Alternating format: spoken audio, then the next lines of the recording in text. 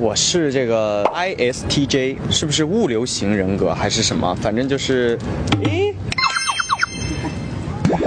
小狗嘴里叼着球。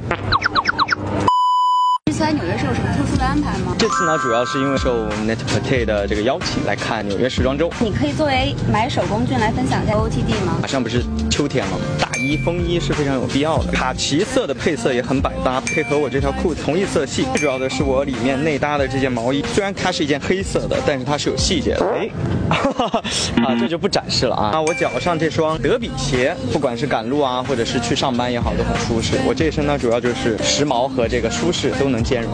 这次工作结束之后，有没有在纽约安排什么好玩的行程啊？后面一两天会有一些自由的时间，见见老朋友，去逛一逛，看看打卡一下这个纽约的一些景点。那你会不会去了怕被别人认出来？要不要做一些伪装的装束呢？伪装的装束，没想过，没事儿。